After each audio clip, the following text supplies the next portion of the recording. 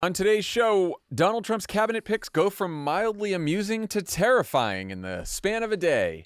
Tulsi Gabbard is Director of National Intelligence, Fox News host Pete Hegseth is Defense Secretary, Matt Gaetz is Attorney General, and the one that broke just before we started recording, RFK Jr. as the Secretary of Health and Human Services. What a lineup! What Man, a we are lineup! we are back into it, aren't we? We are fuck.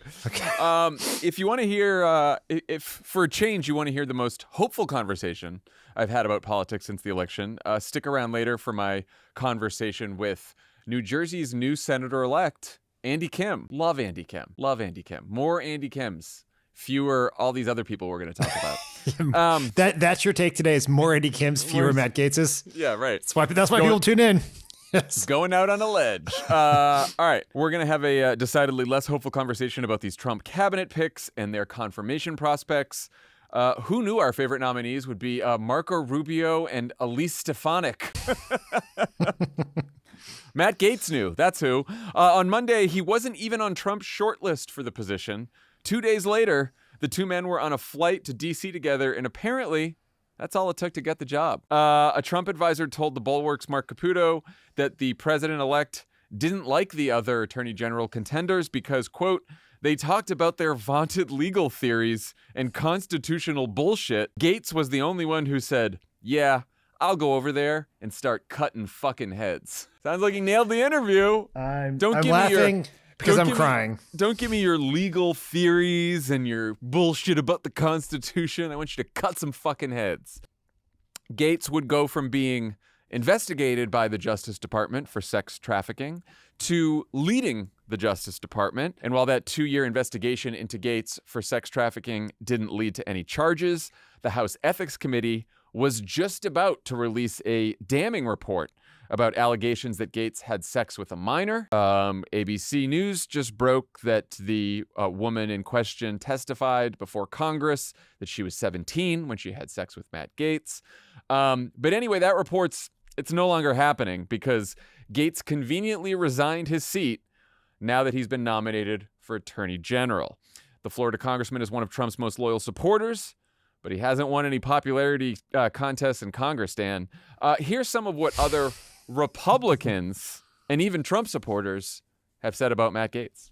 I served with some real scumbags. Look, uh, uh, Matt Gaetz, uh, he paid uh, minors to have sex with him at drug parties. We had all seen the videos he was showing on the house floor that all of us had walked away of the girls that he had slept with. He'd brag about how he would uh, crush ED medicine and, and, and chase it with, um, with an energy drink so he could go all night. I would compare him to that toddler that we've all seen at the family barbecue, eating toilet paper, what? Shoving, shoving Cheerios up his nose to get attention. What a what a mix of comments, huh? Have you seen a toddler eat toilet paper? Uh, no. No, no, nor I don't. Has, have any of your kids ever put Cheerios up their nose? They have put other food up their nose. Hmm. I have I have a friend whose kid put something so far up, a nut so far up his nose he had to go to the hospital. So anything is possible. But you do know plenty of people who have uh, crushed boner pills and Red Bulls to, uh, right? I don't, Jon. I, that's, I don't know what crowd you're hanging out with there in LA, but no, I don't. Just, just checking. Uh, Anyway, that was Republican Congressman Tony Gonzalez, Republican Senator Markwayne Mullin, and Fox commentator Dagen McDowell. That's where those came from, not Democrats. After the announcement, former Trump National Security Advisor John Bolton uh, said that he thought that um, Tulsi Gabbard was the worst cabinet pick in history until he heard about Matt Gaetz. Ben Domenech, the uh, very conservative writer who founded The Federalist, wrote, quote, Let me be clear. Matt Gaetz is a sex trafficking, drug addicted piece of shit. He is abhorrent. There are pools of vomit with more to offer the earth than this STD riddled testament to the failure of fallen masculinity. That's So beautiful writing. Another fan. Another fan. A lot of fan Yes. mail for Matt Gaetz. Um, let's start with what Trump is trying to achieve with this pick. please, please do, please do. So, you know, one theory is that Gaetz is just a wrecking ball and will go after, you know, all of Trump's enemies, people who've prosecuted Trump, uh, people who've investigated Trump, other people who displease Trump.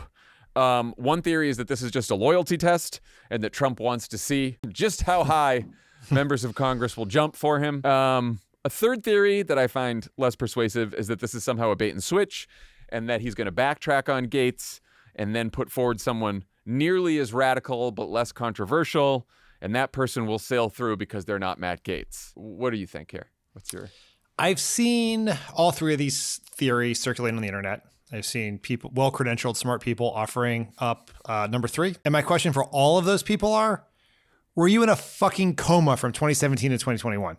I think we can stipulate that Donald Trump is probably more smarter than most liberals think he is, but he's not any more strategic. He wants Matt Gaetz there for a couple of reasons. One, picking Matt Gaetz as AG angers all the people Trump wants to anger, and he lo- like, like he gets off on that. That's his king. mission, mission accomplished? Yes, check, congrats. check that box. Yes. Uh, but most importantly and most alarmingly, Matt Gaetz will investigate anyone Trump wants investigated, and almost as importantly, will not investigate anyone Trump doesn't want inve- doesn't want investigated. He Matt Gaetz is the person on this planet probably most likely to turn the Department of Justice into an arm of the Trump political operation. And that is incredibly scary. And that's why Trump wants him. And that's why people in both parties are concerned about this.